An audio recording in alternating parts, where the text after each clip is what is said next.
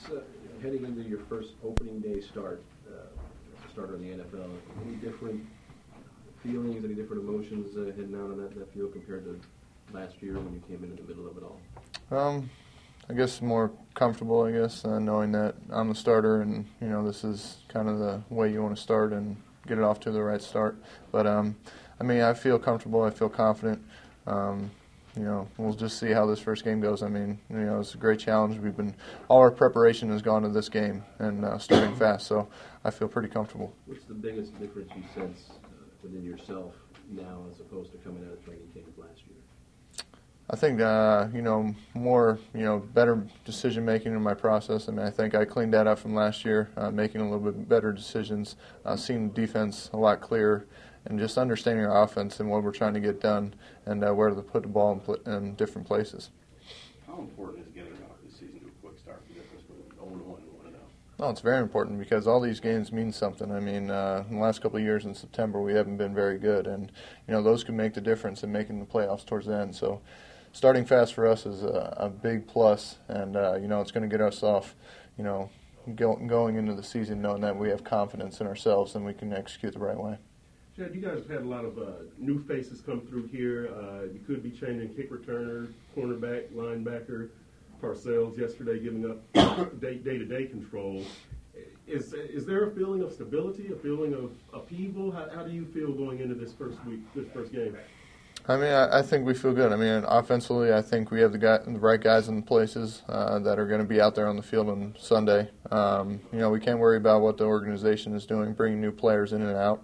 Uh, we just have to focus on our game plan, and uh, you know, the biggest thing is winning on Sunday, and uh, that's that's our main goal, and uh, that's what we need to you know focus in on. Chad, Chris uh, mentioned Parcells. You're a Parcells draft pick. Are you surprised at what happened yesterday? Um, I mean, I, I'm not up there, and uh, I don't have any control of that. But um, you know, it's it is what it is, and uh, we move on as an organization, whether he's here or not. And uh, you know, we're just worried about winning on this Sunday, and uh, we're worrying about how we're going to execute. Did you feel his presence day to day?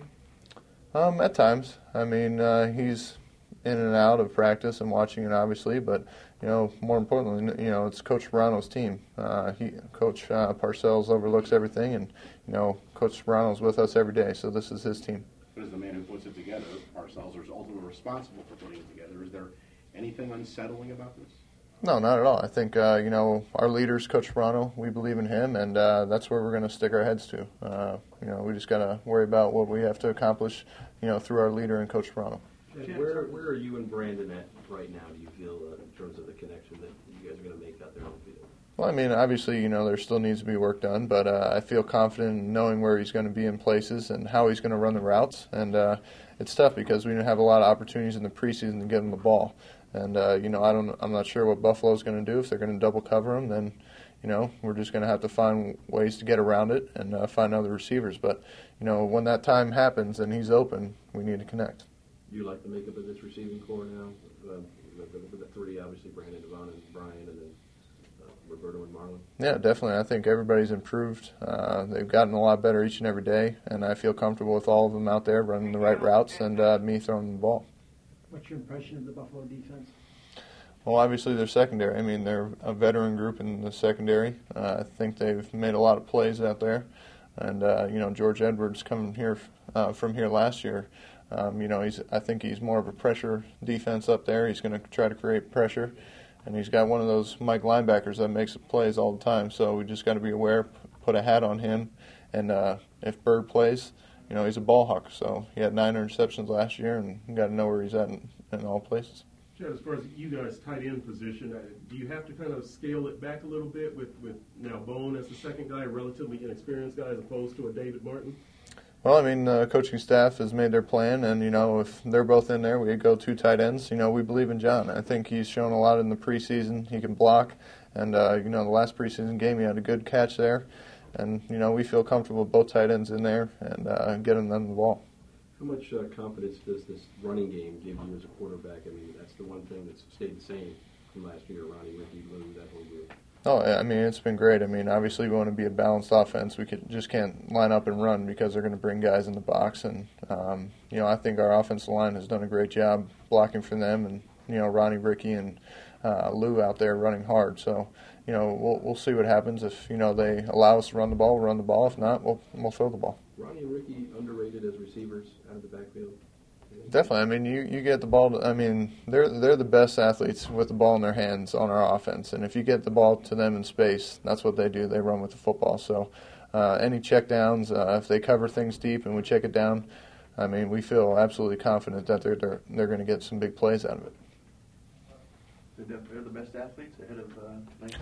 Well, I mean, I just think you know running the football. I mean, you get the ball. That's what they're paid to do. They run with the football, and if they catch it, they're running with the football again. So, uh, I mean, that that's what they're paid to do, and they're pretty darn good at it. What did you take from last year at Buffalo? That was a tough one all around, but, probably your toughest. Uh, how much did that help you in the growth process? Yeah, it was tough. You know, I thought we started fast uh, in that game. You know, we had an early turnover with um, in the red zone, but uh, other than that, I thought we were executing at a point.